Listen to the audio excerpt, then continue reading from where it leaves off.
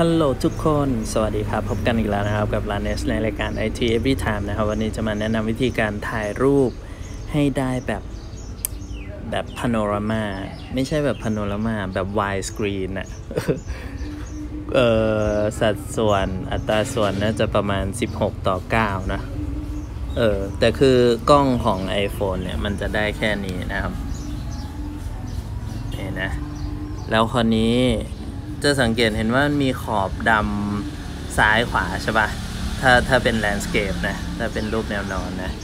เออ เพราะฉะนั้นเนี่ยเราก็จะต้องมีเทคนิคนะฮะ ก็คือการเข้าไปที่แอปพลิเคชัน Messenger นะครับ อ่า แล้วก็กดถ่ายรูป ตึ๊กนี่อย่าลืมบันทึกด้วยนะครับ เพราะว่าอันนี้มันจะถ่ายเพื่อส่งอย่างเดียวนะ โอเค แล้วเดี๋ยวเรามาดูกันเปรียบเทียบว่า มันต่างกันยังไงนะครับ โดยการใช้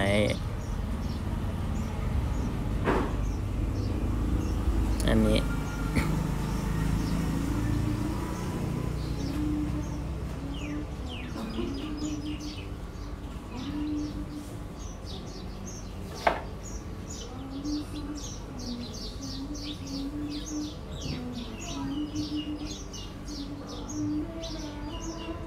นี่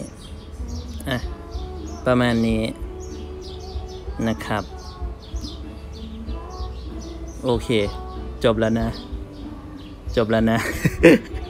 เพื่อนแชทมา